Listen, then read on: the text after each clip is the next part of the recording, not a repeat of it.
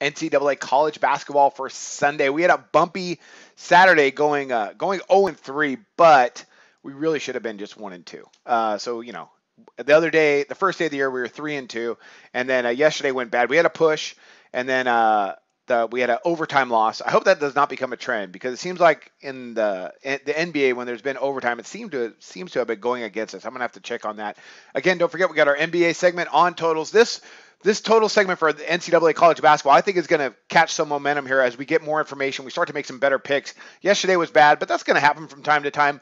Three and five on the year in just two days. We have a long ways to go. Let's see what we can do uh, today. Hopefully, we can get back on the winning track. Let's look at three games on the card. The first one up we got here is Long Beach State versus Wichita State. Odds makers have the total at 139 and a half, and I'm going to go with the under. We got two pretty decent defensive coaches uh, with Gregg Marshall and Dan Monson uh, for Long Beach State. You know, Gregg Marshall, of course, for Wichita State. Wichita State lost pretty much everybody. You know, all their stars from last year in their uh, in their opener.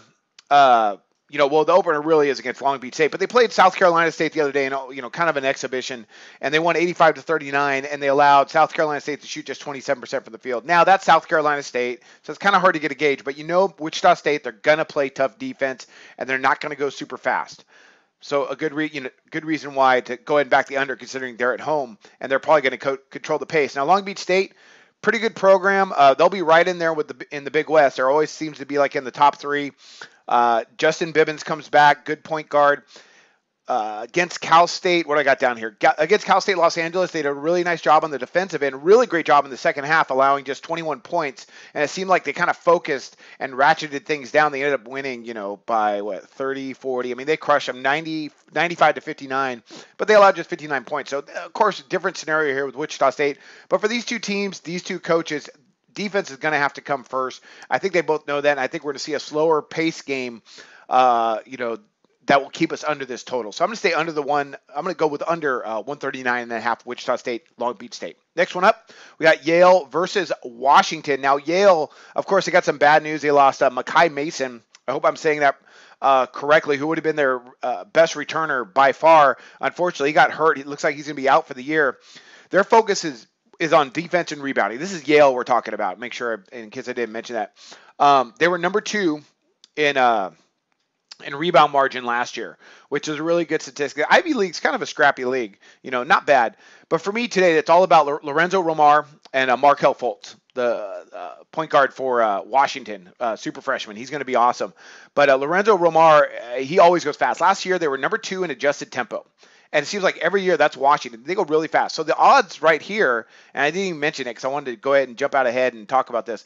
150 and a half for Washington and Yale. And I'm going to go over the total. Uh, this is at Washington, uh, and I think they're going to go really fast this game. I think Yale's going to be able to keep up. I think they have enough back. Um, you know, they have uh, four. You know, four key guys are gone, but they do have a, a few seniors back that should be able to, you know, help them go ahead and keep up with the scoring because Washington's going to put up some points. So I believe this being an opening game, we're going to see something a little bit more up tempo with Washington controlling the pace. So that's why I'm going to go ahead. I'm going to back over the total of 150 and a half with Washington and Yale, which should be an up and down affair.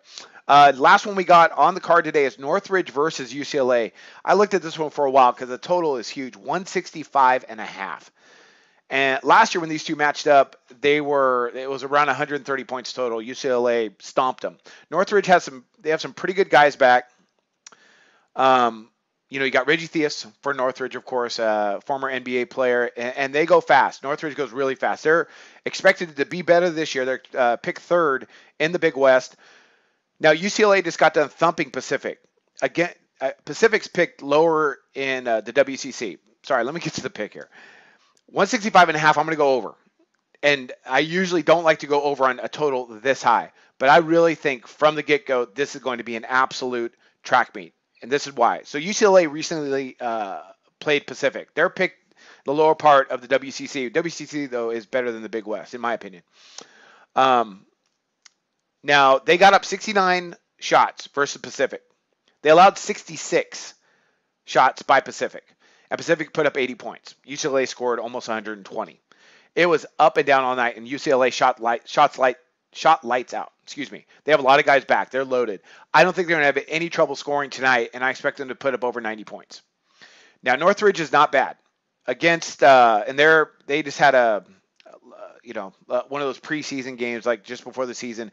They got up 64 attempts uh, versus versus Pomona. Pomona. That's what a uh, Pomona Poly or something like that. Um, I'd, I'd, have to go check, and I'm not going to go do that. I know it's Pomona something, as you know, one of those smaller schools.